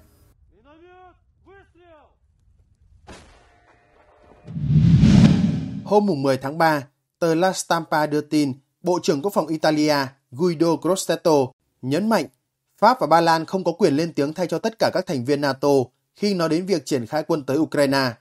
Theo ông, việc điều binh sĩ NATO tới Ukraine sẽ chỉ làm gia tăng căng thẳng và gây hại cho mọi nỗ lực ngoại giao tiềm năng nhằm chấm dứt xung đột giữa Moscow và Kiev. Bình luận của Bộ trưởng Crosetto được đưa ra sau những tuyên bố gần đây của Tổng thống Pháp Emmanuel Macron và Ngoại trưởng Ba Lan Radoslaw Sikorski về khả năng điều động binh sĩ NATO tới hỗ trợ Ukraine. Sau tuyên bố của Tổng thống Macron, nhiều nước thành viên NATO gồm Anh, Cộng hòa Séc, Phần Lan và Thụy Điển khẳng định không có kế hoạch điều quân hỗ trợ Kiev. Ba Lan ban đầu cũng tuyên bố không điều binh sĩ tới Ukraine. Tuy nhiên, Ngoại trưởng Ba Lan Sikorski cho biết sự xuất hiện của các lực lượng NATO ở Ukraine không phải là không thể tưởng tượng được. Bản thân Tổng thống Macron nhiều lần khẳng định giữ vững quan điểm và cho hay không có giới hạn nào đối với các lựa chọn của phương Tây trong việc hỗ trợ Kiev. Bộ trưởng Quốc phòng Italia Crossetto nói, Pháp và Ba Lan có thể tự lên tiếng nhưng không phải thay mặt NATO. Ông nói thêm, việc đưa ra những lập luận như trên trong thời điểm hiện tại là vô nghĩa. Bộ trưởng Crossetto cảnh báo mọi khả năng triển khai quân đội NATO tới Ukraine đồng nghĩa với việc có bước gia tăng một chiều và sẽ cản trở con đường ngoại giao. Bộ trưởng Quốc phòng Italia cho hay NATO đã cố gắng tăng cường năng lực sản xuất đạn dược trong một năm kể từ khi hứa cung cấp một triệu viên đạn pháo cho Kiev, nhưng con số này vẫn thấp hơn so với Nga. Theo ông Grossetto, trong hoàn cảnh hiện nay, phương Tây phải cung cấp mọi sự hỗ trợ có thể cho Kiev, nhưng nên nghĩ đến việc giúp đỡ Ukraine theo cách khác. Theo ông, các quốc gia phương Tây nên kích hoạt các kênh ngoại giao. Trước động thái của phương Tây, Phó Chủ tịch Thượng viện Nga Konstantin Kosachev khẳng định khả năng NATO triển khai binh sĩ tới Ukraine sẽ dẫn tới một kịch bản thảm khốc và điều này có thể được diễn giải như một lời tuyên bố giao tranh đối với Nga. Phát biểu của ông Kosachev tương tự phát ngôn viên Điện Kremlin Dmitry Peskov nói trước đó khi ông cho rằng việc NATO đưa quân tới Ukraine sẽ khiến một cuộc chạm trán trực tiếp giữa Nga và nhóm do Mỹ dẫn đầu không chỉ có khả năng mà thực tế là không thể tránh khỏi. Trong diễn biến có liên quan, theo kênh RT của Nga, người phát ngôn Bộ Ngoại giao Nga Maria Zakharova cho biết các cơ sở ở Bắc Âu chứa vũ khí hạt nhân của Mỹ sẽ được coi là mục tiêu quân sự hợp pháp trong cuộc đối đầu trực tiếp giữa Moscow và NATO. Bình luận trên của bà Zakharova được đưa ra khi Tổng thống mới đắc cử của Phần Lan Alexander Stubb gần đây cho rằng tư cách thành viên NATO mang lại cho nước này một khả năng gian đe hạt nhân thực sự dưới dạng tên lửa của Mỹ. Bà Zakharova phát biểu trong một cuộc họp báo ở Sochi khi nói về tuyên bố của ông Stubb. Bạn không cần phải là một nhà hoạch định quân sự mới hiểu rằng những cơ sở như vậy sẽ là nguồn đe dọa trực tiếp và tất nhiên chắc chắn sẽ được đưa vào danh sách các mục tiêu hợp pháp được xác định theo kịch bản xung đột quân sự trực tiếp giữa Nga và NATO. Người phát ngôn Bộ Ngoại giao Nga nói thêm, Chúng tôi hiểu rằng đây chính xác là điều mà Mỹ và các vệ tinh của nước này đang thúc đẩy và lưu ý rằng, trái với mong đợi của một số quan chức cấp cao, việc triển khai vũ khí hạt nhân của Mỹ sẽ làm xấu đi an ninh của các nước sở tại thay vì củng cố an ninh. Khối hiệp ước Bắc Đại Tây Dương NATO đã chính thức kết nạp Thụy Điển trở thành thành viên thứ 32 của liên minh quân sự này, NATO 32. Việc Thụy Điển từ bỏ truyền thống không liên kết kéo dài hơn 200 năm và gia nhập NATO là một động thái khép vòng kịch bản NATO kiểm soát toàn bộ biển Baltic. Giờ đây còn được gọi là Hồ NATO. Với thành viên thứ 32, NATO còn hoàn thiện vành đai phòng thủ của khối này kéo dài từ bán đảo Scandinavia ở Bắc Âu qua khu vực Trung và Đông Âu, khối CEE đến tận bán đảo Ban Căng ở Nam Âu, mở rộng các hoạt động tăng cường sự hiện diện quân sự của NATO thuộc sườn phía đông châu Âu kết nối đến khu vực sườn phía bắc qua các tuyến đường sắt Ofoten, Na Uy và tuyến Iron Ore của Thụy Điển thông qua các hoạt động tập trận tăng cường liên khu vực. Cùng với một loạt dự án khác, có thể thấy tham vọng của khối này nhằm gia tăng tối đa áp lực quân sự lên cánh châu Âu từ phía tây của Nga. Không chỉ vậy, NATO còn thủ sẵn một đòn tiến công theo hướng trục nhằm thọc sâu vào khu vực ảnh hưởng truyền thống của Tổ chức Hiệp ước An ninh Tập thể CSTO của Nga. Đứng trước các bước tiến lộ rõ tham vọng khóa tay Nga từ phía NATO, chính quyền Tổng thống Vladimir Putin đã lập tức củng cố thế trận cài răng lược của họ với trọng tâm khắc chế cánh châu Âu của NATO. Nghiên cứu từ Viện Rusi của nước Anh cho biết quân đội Nga đang được tái thiết một cách đáng kinh ngạc mặc dù bị tổn hại không nhỏ trong cuộc xung đột ở Ukraine. Phía Nga vẫn đang duy trì tuyển dụng hơn 10.000 quân mỗi tháng, giữ mức cung cấp khoảng 1.500 xe tăng cùng với khoảng 3.000 xe chiến đấu bọc thép các loại phục vụ chiến đấu mỗi năm. Hạm đội biển Bắc của Nga đang liên tục được bổ sung vũ khí và nâng cấp hạ tầng quân sự, tập trung vào nhóm căn cứ trên bán đảo Kola giữa biên giới Na Uy và Phần Lan. Còn hạm đội biển Baltic ở vùng Kaliningrad thường xuyên tiến hành tập trận bằng các tàu được trang bị tên lửa hành trình có độ chính xác cao như Kalib nhằm tạo gọng kìm với sườn phía bắc của NATO. Tiếp theo, Nga dùng trận địa hạt nhân phi chiến lược ở Belarus cùng với kế hoạch gia tăng quân lực lên gấp đôi ở biên giới giáp NATO thuộc khuôn khổ tái thiết lập hai quân khu Moscow và Leningrad để kẹp giữa các sườn còn lại của cánh châu Âu mà NATO đang triển khai. Đối với thế trận trên Biển Đen đang có lợi cho các cuộc tấn công bằng drone cảm tử của Ukraine, Nga đã tạm lui về thiết lập quân khu hải quân mới ở biển Azov, nơi có thể tạo thế gọng kìm cản trở hướng tiến công thọc sâu từ Biển Đen đến biển Caspia của NATO. Nga cũng đã khống chế cánh bắc cực của NATO khi tăng cường lực lượng ở gọng kìm từ biển Barents đến biển Baltic, phối hợp với Trung Quốc và Triều Tiên giữ lợi thế tuyệt đối về gian đe hạt nhân nhằm giữ cánh châu Á Thái Bình Dương của NATO không gia tăng căng thẳng. Nhìn chung, thế trận một trục ba cánh của NATO đã trở nên hoàn thiện hơn với các hành lang kết nối từ cánh châu Âu đến cánh Bắc Cực thông qua sự tham gia của Thụy Điển. Tuy nhiên dường như động thái này vẫn chưa đủ để tạo nên sự chênh lệch cụ thể trước thế cài răng lược từ phía Nga, ngay cả trong bối cảnh CSTO đang suy yếu. Trong một diễn biến liên quan khác, theo giới phân tích, với chuỗi tập trận lớn nhất của NATO kể từ sau khi chiến tranh lạnh kết thúc với sự tham gia của hơn 20.000 binh sĩ tới từ 13 quốc gia. NATO đang muốn gửi một thông điệp cứng rắn và rõ ràng tới Nga rằng các thành viên liên minh sẵn sàng bảo vệ lẫn nhau nếu cần và liên minh sẽ bảo vệ toàn bộ lãnh thổ cho đến tận biên giới với Nga. Tại chuỗi tập trận này, binh sĩ và các phương tiện quân sự tham gia phản ứng với mọi kịch bản có thể xảy ra. Thứ trưởng Bộ Ngoại giao Nga Alexander Grushko cho hay Moscow đang theo dõi cuộc tập trận mà Moscow coi là mang tính khiêu khích này. Thứ trưởng Grushko lưu ý Moscow đã thực hiện mọi biện pháp cần thiết để đảm bảo khả năng phòng thủ của Nga trong bối cảnh hiện nay. Theo Newsweek, nhà khí tượng học người Nga Evgeny Tiskovet đã có cuộc trò chuyện với người dẫn chương trình truyền hình Vladimir Solovyov. Đây cũng là người ủng hộ Điện Kremlin về các điều kiện được cho là lý tưởng trong tình huống Moscow tiến hành một cuộc tấn công hạt nhân vào các thành viên NATO. Người dẫn chương trình Solovyov nói, quan trọng nhất là ông nên nói rõ ràng làm thế nào tên lửa của Nga có thể tấn công chính xác các mục tiêu NATO và thời tiết sẽ không cản trở chúng. Bất chấp điều kiện khí tượng khó khăn thì tên lửa đã chạm tới mục tiêu. Chuyên gia thời tiết, ông Tiskovet cho biết, thời tiết lý tưởng để tiến hành các cuộc tấn công hạt nhân nhằm vào các nước NATO. Các luồng không khí dịch chuyển theo cách bất thường, không phải từ Tây sang Đông mà là từ Đông sang Tây. Các đám mây phóng xạ di chuyển về phía những quốc gia đang gửi vũ khí và lính quân sự tư nhân đến chiến đấu chống lại quân đội của chúng ta. Theo Newsweek, người dẫn chương trình, ông Solovyov trước đó đã đề nghị tiến hành tấn công hạt nhân vào các nước NATO. Bên cạnh đó, hãng thông tấn Anadolu dẫn thông báo của Bộ Quốc phòng Liên bang Nga ngày 9 tháng 3 cho biết các đơn vị thuộc hạm đội Baltic đã tiến hành huấn luyện về kiểm soát hỏa lực tấn công của hệ thống tên lửa chiến thuật và kế hoạch Iskander tại một trong những cơ sở huấn luyện ở khu vực Kaliningrad. Hệ thống tên lửa chiến thuật và kế hoạch Iskander được thiết kế để tấn công các mục tiêu của đối phương ở chiến trường, gồm hệ thống tên lửa, hệ thống rocket đa nòng, pháo tầm xa và vị trí chỉ huy, trung tâm thông tin liên lạc cũng như máy bay trực thăng. Hệ thống này có độ chính xác và khả năng cơ động cao, có thể tiêu diệt nhiều mục tiêu khác nhau trong khoảng cách lên tới 500 km. Kaliningrad hiện là một trong 46 khu vực hành chính của Nga, nhưng là khu vực duy nhất không có biên giới trên bộ với các khu vực khác của nước này, mà giáp với biển Baltic về phía Tây và nằm kẹp giữa Litva, Ba Lan, hai nước thành viên NATO. Với vị trí địa lý của mình, Kaliningrad được coi là một hàng không mẫu hạm không thể chìm, bổ sung đáng kể vào chiều sâu chiến lược của Nga. Vì vậy, các cuộc tập trận quân sự ở Kaliningrad là một tín hiệu cho thấy khả năng của Nga và là một cách để gây thêm áp lực lên phương Tây.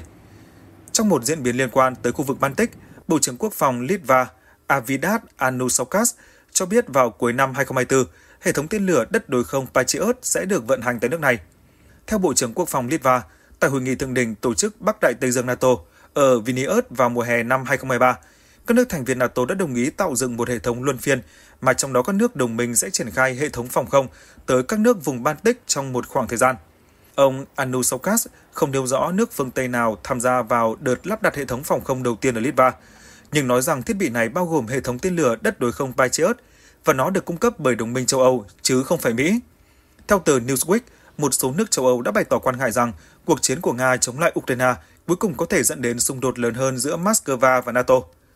Trong những tháng gần đây, Liên minh quân sự này đã thực hiện một số bước để củng cố hệ thống phòng thủ dọc biên giới phía đông, bao gồm việc tiến hành huấn luyện vào mùa xuân cho hơn 90.000 quân đến từ tất cả 32 quốc gia thành viên ở các quốc gia có chung biên giới với Nga, như các nước vùng Baltic và Ba Lan. Căng thẳng giữa Moscow và phương Tây vẫn ở mức cao trong suốt cuộc chiến ở Ukraine. Quốc gia rõ ràng là được các thành viên NATO ủng hộ. Trong khi đó, Tổng thống Nga Vladimir Putin đã đổ lỗi ảnh hưởng của liên minh này đối với chính phủ Ukraine là một trong những lý do khiến nước ông bị ép buộc tham chiến. Putin cũng nói rằng cuộc xung đột kéo dài hơn 2 năm không thể kết thúc cho đến khi Ukraine đồng ý giữ thái độ trung lập. Điện Kremlin cáo buộc phương Tây kéo dài cuộc chiến ở Ukraine bằng cách củng cố khả năng quân sự của Kiev, đồng thời cảnh báo vào cuối tháng trước rằng NATO sẽ vượt qua giới hạn nếu các thành viên của khối này gửi quân đến chiến đấu ở Ukraine. Mặc dù không có quốc gia NATO nào nói rằng họ có một kế hoạch làm như vậy, nhưng Tổng thống Pháp Emmanuel Macron tháng trước đã tuyên bố với các phóng viên rằng không nên loại trừ bất cứ khả năng nào để ngăn chặn Nga giành chiến thắng trong cuộc chiến với Ukraine. Chuyển sang những thông tin đáng chú ý khác trên thế giới. Thưa quý vị, Thủ tướng Ba Lan có chuyến thăm tới Mỹ cùng với Tổng thống Ba Lan gặp Tổng thống Joe Biden tại Nhà Trắng. Cuộc gặp tay ba này đã phản ánh sức mạnh của quan hệ giữa Mỹ và Ba Lan. Thủ tướng Ba Lan Donald Tusk tới Mỹ vào sáng ngày 11 tháng 3 giờ địa phương, cùng với Tổng thống Ba Lan Andrzej Duda gặp Tổng thống Joe Biden tại Nhà Trắng. Theo TVB World, một số chủ đề dự kiến được thảo luận trong cuộc hội đàm giữa các nhà lãnh đạo Ba Lan với Tổng thống Mỹ là tình hình hiện tại của NATO, sự mở rộng của liên minh trong tương lai, việc hỗ trợ cho Ukraine cũng như quan hệ hợp tác Mỹ-Ba Lan và việc Ba Lan mua vũ khí Mỹ. Người phát ngôn Nhà Trắng Karine Jean-Pierre nhấn mạnh các nhà lãnh đạo sẽ tái khẳng định sự ủng hộ vững chắc trong việc bảo vệ Ukraine trước hoạt động quân sự của Nga. Trước chuyến thăm Mỹ, Tổng thống Andrzej Duda triệu tập cuộc họp của Hội đồng An ninh Quốc gia với sự tham dự của các chủ tịch Hạ viện và Thượng viện, Thủ tướng, người đứng đầu Bộ Ngoại giao, Bộ Quốc phòng và Bộ Nội vụ và Hành chính cùng các quan chức khác. Mục đích của cuộc họp là đảm bảo rằng giới lãnh đạo Ba Lan có quan điểm thống nhất về vấn đề an ninh quốc gia. Tổng thống Duda và Thủ tướng Tusk đều tuyên bố rằng vấn đề an ninh phải trở thành ưu tiên quốc gia để đoàn kết tất cả mọi người ở Ba Lan, không có ngoại lệ. Trước cuộc gặp ông chủ Nhà Trắng, Tổng thống Duda dự kiến gặp lãnh đạo lưỡng viện Quốc hội Mỹ. Cuộc gặp tại Washington DC diễn ra nhân dịp kỷ niệm 25 năm Ba Lan gia nhập NATO 1999-2024. Theo đại sứ Mỹ tại Ba Lan, Mark Brzezinski, ông Joe Biden có vai trò then chốt trong việc điều phối quá trình mở rộng NATO và cuộc gặp sắp tới sẽ tái khẳng định tính hiệu quả trong hoạt động phòng thủ tập thể của NATO.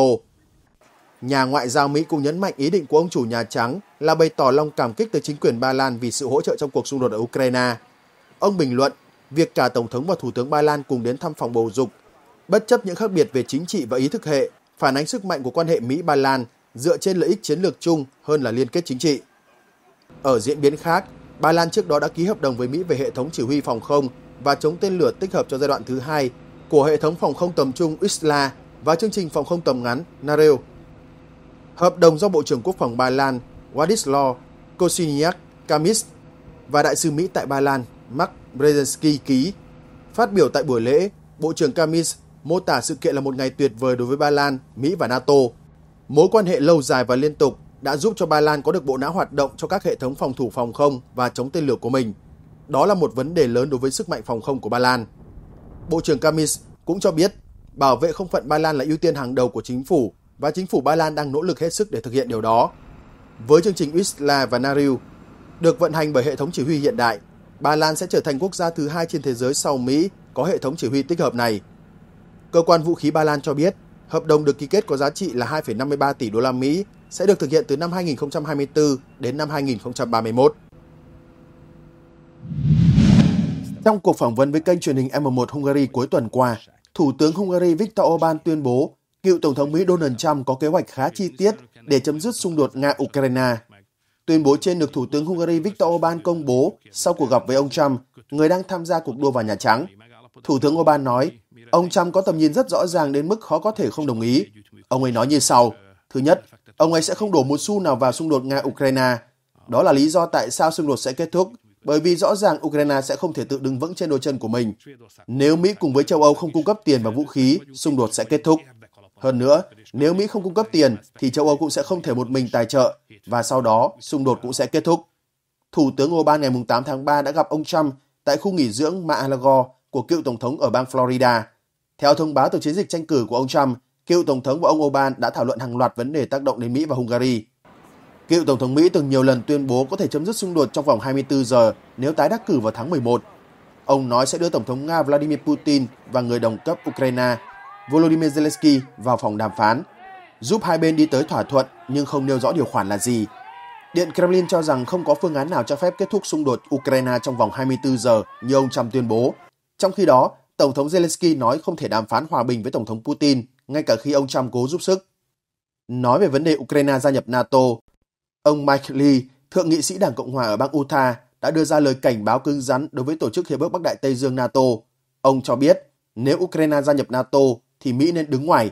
Đây là điều rõ ràng và đơn giản. Chúng ta phải vạch ra một làn danh đỏ đối với NATO. NATO chỉ có thể có Ukraine hoặc Mỹ.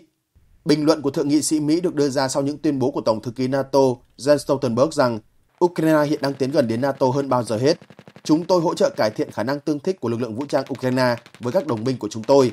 Chúng tôi đang cùng nhau mở một trung tâm phân tích, huấn luyện và giáo dục chung mới ở Ba Lan. Chúng tôi cũng đang tăng cường mối quan hệ chính trị thông qua Hội đồng NATO-Ukraine nơi chúng tôi cùng nhau tham khảo ý kiến và đưa ra quyết định.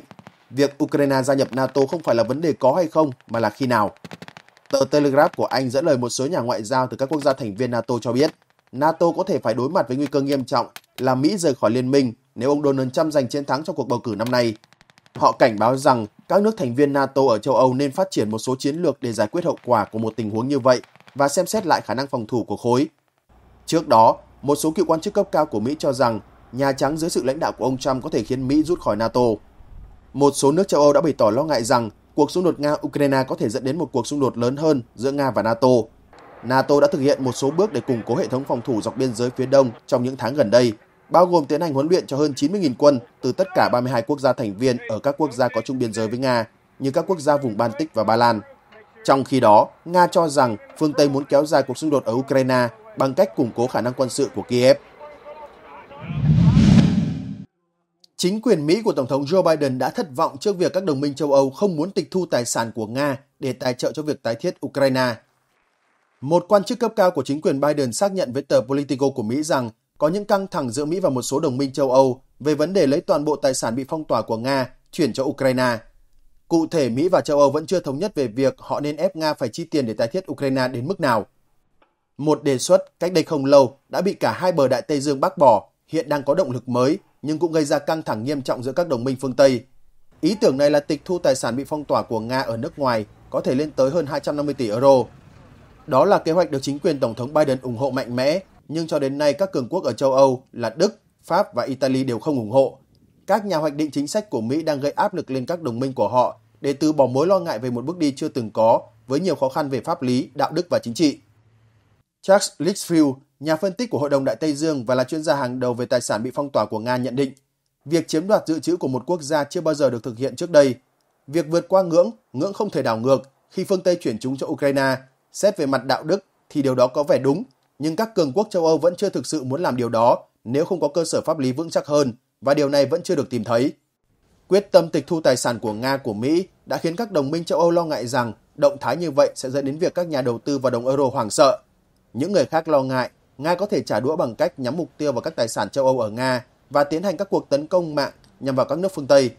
Một số người cho rằng dù hành vi của Nga có đến mức nào thì một quốc gia cũng không nên bị buộc phải bồi thường khi xung đột vẫn còn tiếp diễn.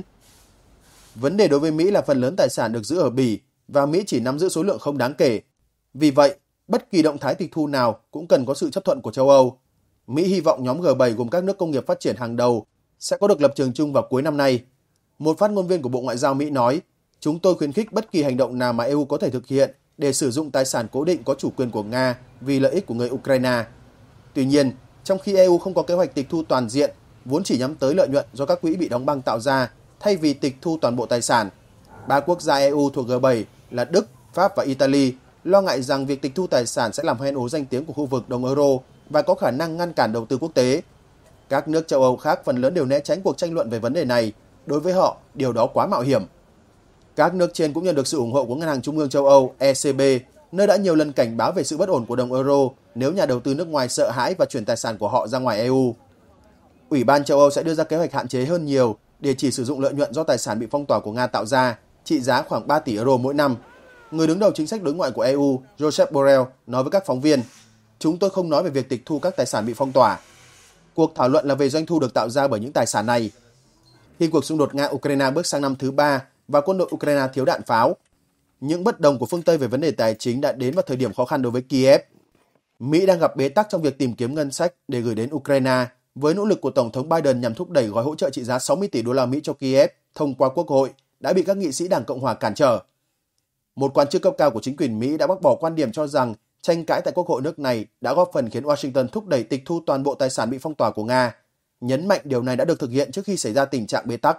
Quan chức này nói, Chúng tôi luôn hình dung điều này cho công cuộc tái thiết Ukraine bởi vì đó là cách thực tế duy nhất để đáp ứng nhu cầu tái thiết của Ukraine. Trong báo cáo do Viện Nghiên cứu Hòa bình Quốc tế Stockholm, SIPRI, Thụy Điển vừa qua công bố, Mỹ đã tăng xuất khẩu vũ khí thêm 17% trong giai đoạn 2019 đến 2023 so với giai đoạn 2014 đến 2018, trong khi xuất khẩu vũ khí của Nga giảm hơn 50%. SIPRI nhận định trong một tuyên bố, Mỹ đã tăng cường vai trò toàn cầu của mình với tư cách là nhà cung cấp vũ khí. Một khía cạnh quan trọng trong chính sách đối ngoại của nước này, xuất khẩu vũ khí sang nhiều quốc gia hơn bao giờ hết. Trong khi đó, xuất khẩu vũ khí của Nga trong giai đoạn 2019 đến 2023 đã giảm 53% so với giai đoạn 2014 đến 2018. Mức giảm ngày càng gia tăng trong giai đoạn này và xuất khẩu vũ khí của Nga trong năm 2023 thấp hơn 52% so với năm 2022.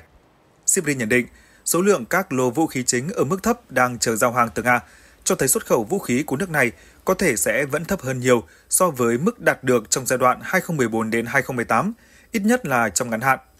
Bên cạnh đó, phương Tây đã tìm cách cô lập Nga kể từ khi Moscow sắp nhập Crimea năm 2014.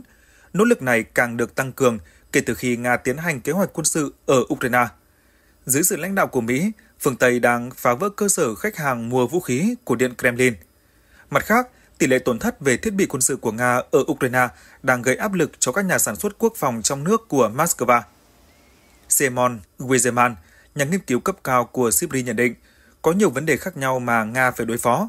Trước hết là áp lực từ Mỹ và đồng minh đã diễn ra từ năm 2014 đối với các khách hàng tiềm năng và khách hàng hiện tại của Nga, nhằm ngăn chặn và khiến họ không mua vũ khí từ Moscow, đồng thời sẵn sàng cung cấp cho họ công nghệ và vũ khí thay thế.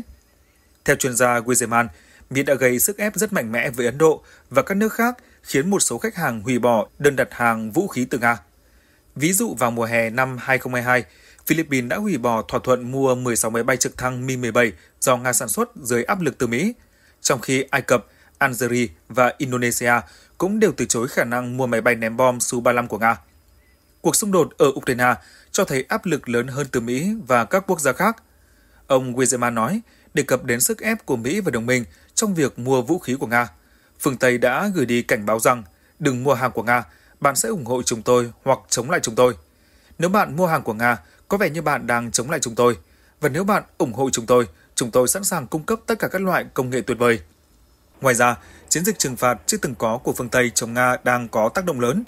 Nền kinh tế Nga bị suy giảm, thâm hụt ngân sách của Điện Kremlin đang lớn dần khi nguồn thu từ xuất khẩu nhiên liệu hóa thạch của nước này giảm sút.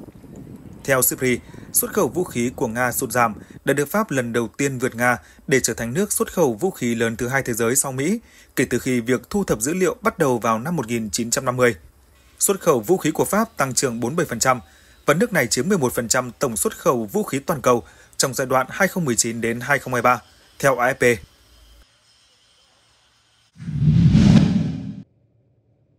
Tờ Ukrainska Pravda dẫn thông tin từ Viện Nghiên cứu Chiến tranh ISVK cho biết, các nhà nghiên cứu nguồn mở đã phân tích hình ảnh vệ tinh. Qua đó kết luận rằng Nga đã lấy ra khoảng từ 25 đến 40% lượng xe tăng dự trữ chiến lược tùy thuộc vào mẫu xe từ các kho dự trữ ngoài trời. Bà Dara Masikot, thành viên cấp cao tại chương trình Nga và Á-Âu của Quỹ Hòa bình Quốc tế Carnegie, ước tính rằng Moscow có thể đã lấy ra những thiết bị tốt nhất khỏi kho dự trữ chiến lược của mình, trong khi số thiết bị tệ hơn và không thể sửa chữa vẫn được cất giữ trong các kho. Bên cạnh đó, bà Masikot cũng ước tính rằng số trang thiết bị còn lại được cất giữ trong kho sẽ giảm dần trong vài năm tới nếu Nga duy trì tốc độ hoạt động còn lại. ISVK lưu ý họ không thể xác minh độc lập báo cáo này. Những ước tính nói trên cho thấy quân đội Nga chủ yếu sử dụng thiết bị từ các kho dự trữ để duy trì hoạt động chiến đấu, thay vì bù đắp tổn thất trên chiến trường bằng trang thiết bị mới. Có khả năng Moscow sẽ phải đối mặt với tình trạng thiếu trang thiết bị trong vài năm tới nếu tỷ lệ thiệt hại hiện tại vẫn giữ nguyên hoặc tăng nhanh, trong khi tốc độ sản xuất phương tiện mới hiện tại không thay đổi. Theo hãng tin TASS, cuối năm ngoái, Tổng thống Vladimir Putin đã ký ban hành luật ngân sách liên bang của Nga năm 2024 với phần chi tiêu cho các hoạt động quốc phòng được gia tăng đáng kể, chiếm khoảng 30% tổng chi tiêu ngân sách của Nga trong năm 2024.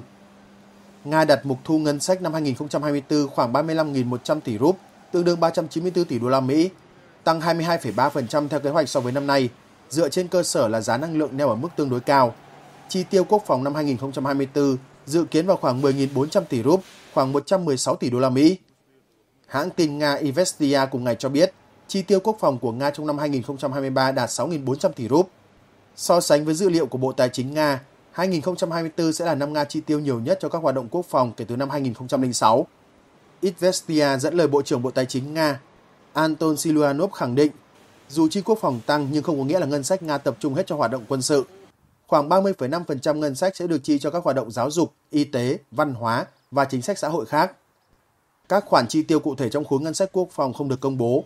Các nhà lập pháp Nga kỳ vọng mức chi tiêu quốc phòng tăng lên sẽ góp phần đảm bảo an ninh kinh tế của Nga, đồng thời mở ra cơ hội phát triển các loại vũ khí mới, cải tiến vũ khí hiện có. Sau một năm 2023 đầy sóng gió, năm 2024 được dự báo cũng sẽ không ít gập ghềnh, đặc biệt là khi xung đột địa chính trị còn vô cùng phức tạp.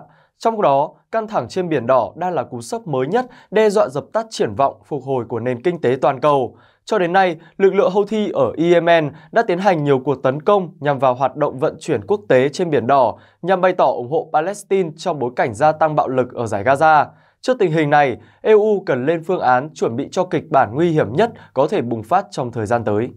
Căng thẳng ở Biển Đỏ chỉ ngày càng tăng, chứ không giảm theo sau hoạt động quấy rối kéo nhiều tháng qua của Houthi nhằm vào các tàu qua lại, một trong những tuyến hàng hải đông đúc nhất thế giới. Đặc biệt là sau vụ việc ba thủy thủ trên tàu dân sự thiệt mạng vì tên lửa của phiến quân. EU với sứ mệnh hải quân phòng thủ Aspides lá chắn ở Biển Đỏ đã được triển khai gần 3 tuần trước, được cho là cần phải chuẩn bị tinh thần vì đây sẽ là một sứ mệnh dài hơi và nguy hiểm. Ông Alessandro Marone, giám đốc chương trình quốc phòng tại tổ chức tư vấn Istituto Affari Internazionali của Italia cho biết đây là chiến dịch hải quân nguy hiểm nhất mà EU thực hiện cho đến nay. Theo ông Marone, vụ việc cướp đi sinh mạng của ba thủy thủ, hai người Philippines và một người Việt Nam trên tàu trụ Confident treo cờ Barbados do Hy Lạp điều hành là một thảm kịch không may có khả năng xảy ra. Sứ mệnh Aspides của EU được triển khai nhằm bảo vệ quyền tự do hàng hải ở Biển Đỏ và Vịnh Aden, một khu vực chìm trong bất ổn kể từ tháng 10 khi phiến quân Houthi bắt đầu nhắm mục tiêu vào các tàu đang di chuyển trên tuyến đường này bằng một loạt các cuộc tấn công bằng máy bay không người lái và tên lửa. Với 12% thương mại toàn cầu và tới 30% lưu lượng container toàn cầu đi qua tuyến hàng hải quan trọng này, các cuộc tấn công của Houthi đã đe dọa làm gián đoạn nghiêm trọng dòng chảy thương mại vào châu Âu. Các cuộc tấn công của Houthi trên Biển Đỏ bắt đầu không lâu sau khi khói lửa chiến tranh tái bùng phát ở Gaza hồi tháng 10 năm ngoái, đã khiến chi phí bảo hiểm tăng cao và buộc một số tàu phải đi đường vòng quanh mũi hảo vọng ở Nam Phi. Chi phí gia tăng cho đến nay đã được thị trường hấp thụ, nhưng chúng có khả năng tạo ra sự gián đoạn. Ông Chichabu Uday PHK, một sĩ quan hải quân Ấn Độ đã nghỉ hưu và là giám đốc Hiệp hội Nghiên cứu Chính sách có trụ sở tại New Delhi cho biết, Những cuộc tấn công phi nhà nước như thế này đặt ra một thách thức thực sự phức tạp đối với hải quân trên toàn thế giới và hoạt động vận tải thương mại nói chung. Việc triển khai sứ mệnh hải quân nhằm mục đích duy trì sự hiện diện và gửi tín hiệu rằng các cường quốc sẽ không cho phép sự gián đoạn này vượt quá một điểm nhất định. Việc triển khai quốc tế nhanh chóng sau các cuộc tấn công của Houthi có thể đã góp phần kiểm soát tác động kinh tế, ông Marone nói. Tuy nhiên, ông cũng cho biết nhận thức về rủi ro mới mà Hải quân châu Âu phải đối mặt hiện còn khá thấp ở các thủ đô của lục địa này. Ông Marone ước tính tổng số nhân viên châu Âu được triển khai giữa trụ sở chính ở Larissa, Hy Lạp và trên biển vào khoảng 1.000 người. Rủi ro tương đối thấp vì tàu chiến được trang bị tốt, nhưng nó không phải là rủi ro bằng không. Đó là một cuộc xung đột chống lại các chủ thể bán nhà nước. Ông Marone nói thêm cần phải làm nhiều hơn nữa để có sự phối hợp tốt hơn giữa các đối tác nhằm tránh lặp lại sự cố Đức Mỹ ngày 28 tháng 1. Có nguy cơ xảy ra tình trạng quân ta đánh quân mình cao vì mỗi nhiệm vụ có một chuỗi chỉ huy khác nhau. Ông Marone nói, gần đây nhất tình hình an ninh ở Biển Đỏ trở nên đặc biệt nguy hiểm sau khi lực lượng Houthi ở Yemen phóng tên lửa vào con tàu chở đồ khô True Confident, khiến 3 người thiệt mạng và 4 người bị thương. Trước đó, Houthi đã đánh chìm tàu chở phân bón Rubima Hệ lụy của việc Houthi bước qua làn danh đỏ vô cùng tệ hại đối với an ninh khu vực. An ninh không được bảo đảm thì tàu thuyền thương mại sẽ tránh đi qua tuyến huyết mạch hàng hải này, thay vào đó phải chọn lối đi vòng, tốn thêm nhiều chi phí và thời gian. Chuỗi cung ứng toàn cầu sẽ bị tác động tiêu cực trực tiếp, kinh tế và thương mại thế giới cũng trở thành nạn nhân. Biển Đỏ sẽ là điểm nóng lâu dài về chính trị, an ninh khu vực và thế giới, chứ không chỉ hiện tại. Các đối tác bên ngoài, trước hết là EU, Mỹ và đồng minh, sẽ phải tổ chức lại hoạt động quân sự ở Biển Đỏ để vừa bảo đảm an toàn cho tàu thuyền qua lại, tức là đối phó hữu hiệu hơn những cuộc tấn công của Houthi, vừa tập trung triệt hạ tiềm lực quân sự của lực lượng này bên trong lãnh thổ Yemen. Cho nên, việc các bên sử dụng súng đạn ở vùng này sẽ gia tăng. Thủ tướng Israel Benjamin Netanyahu tiếp tục đưa ra phát ngôn mang nội dung công kích nhằm vào lãnh đạo Mỹ liên quan đến cuộc xung đột Gaza. Theo truyền thông Israel, trong cuộc trả lời phỏng vấn hãng tin Fox News của Mỹ, Ông Netanyahu cảnh báo những bình luận của lãnh đạo Mỹ khiến cho hoạt động tấn công loại bỏ lực lượng Hamas của quân đội Israel tại giải Gaza trở nên khó khăn hơn. Cụ thể, người đứng đầu chính phủ Israel cho rằng bất đồng về nhận thức giữa lãnh đạo hai nước liên quan đến cuộc xung đột Gaza đang cổ suý lực lượng Hamas. Trước đó, trong cuộc phỏng vấn kênh Politico của Mỹ, Thủ tướng Israel Netanyahu cũng chỉ trích Tổng thống Mỹ đã sai lầm khi nói rằng với cách thức điều hành cuộc xung đột Gaza khiến nhiều thường dân Palestine thiệt mạng – ông Netanyahu khiến cho người Israel bị tổn thương hơn là được giúp đỡ. Mỹ là một trong những đồng minh ủng hộ mạnh mẽ nhất hoạt động tấn công quân sự của quân đội Israel vào giải Gaza nhằm đáp trả cuộc đột kích bất ngờ của Hamas vào miền nam Israel trong sáng cùng ngày khiến 1.200 người chết. Washington khẳng định tấn công Gaza là hành động tự vệ chính đáng của Tel Aviv, đồng thời ra sức cung cấp vũ khí, đạn dược và hậu cần cho đồng minh cường quốc số 1 thế giới cũng đã ba lần sử dụng quyền phủ quyết để bác bỏ dự thảo nghị quyết do các nước trình lên tại Hội đồng Bảo an Liên Hợp Quốc với nội dung kêu gọi chấm dứt chiến sự tại Gaza. Tuy nhiên, thời gian gần đây, giới chức Mỹ nhiều lần bày tỏ sự không hài lòng với cách thức điều hành cuộc xung đột của Israel tại Gaza, khiến nhiều dân thường Palestine thiệt mạng. Trong khi đó, suốt giai đoạn này, Israel vẫn cần phải duy trì sự hiện diện quân sự liên tục tại Gaza. Người Israel tin tưởng Hamas sẽ không còn bất kỳ vai trò gì tại Hamas trong giai đoạn này nhưng thừa nhận cuộc chiến chống khủng bố tại đây chưa thể kết thúc và vẫn cần được duy trì. Về cơ chế quản lý và hiện trạng tại Gaza trong giai đoạn này, nhà phân tích Salom Zerusani nhận định nó sẽ tương tự như khu bờ Tây hiện nay, nơi chính quyền Palestine đang kiểm soát. Theo đó, chính quyền của người Palestine tại giải Gaza cũng sẽ không được trang bị vũ khí hạng nặng, đồng thời không có sự tham gia của lực lượng thù địch với Israel. Nhà phân tích Salom Zerusani tin rằng ông Benjamin Netanyahu cùng các cộng sự không có ý định chiếm đóng quân sự lâu dài hay thiết lập các khu định cư của người Israel tại Gaza. Thay vào đó, Israel sẽ kiểm soát vùng đất này từ xa. Bên cạnh đó, Thủ tướng Netanyahu cho biết, nếu ý của Tổng thống Biden là tôi đang theo đuổi các chính sách cá nhân chống lại đa số, trái với mong muốn của đa số người Israel, và điều này đang làm tổn hại lợi ích của Israel, thì ông ấy đã sai ở cả hai khía cạnh. Chính quyền Tổng thống Biden ngày càng cho thấy họ đang mất dần kiên nhẫn với Thủ tướng Netanyahu vì bất đồng trong nhiều vấn đề, bao gồm tương lai Gaza hậu chiến sự. Những lời lẽ nói trên xuất hiện trong bối cảnh ông Netanyahu đang đối mặt với sức ép lớn trong nước khi vẫn chưa đưa được các con tin còn bị lực lượng Hamas giam giữ về nước.